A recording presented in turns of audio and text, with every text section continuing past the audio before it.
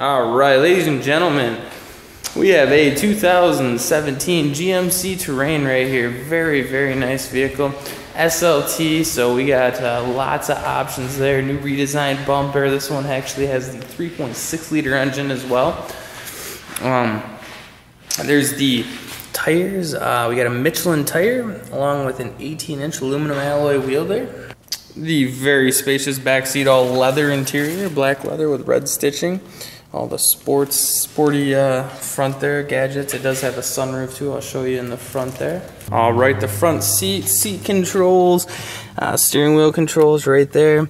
There's the premium screen with backup camera, dual front heated seats, climate control. It's got a tap shifter, OnStar ready.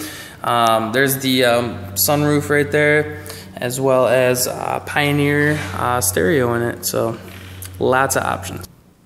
All right, there's the 3.6 liter V6 engine, VVT, um, direct port injection, about 280 horsepower there, so lots of power. All right, so there you have it, folks, the 2017 GMC Terrain SLT.